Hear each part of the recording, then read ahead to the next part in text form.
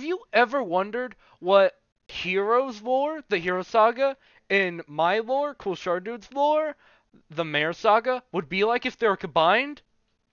Well, introducing the Heroes Saga and Mayor crossover.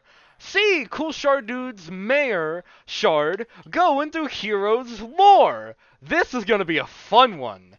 Now, while I can't really explain uh, a lot that's gonna happen because Hero uh, might uh, get a little mad at me, uh, just know that uh, Shard will be coming to Heroes lore eventually.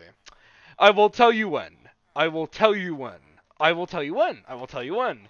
But yeah, that's what I want to talk about. So it's the 30th of June. I am. This is the 27th. I am not home. I'm probably not home by the 30th. So I'm recording this now.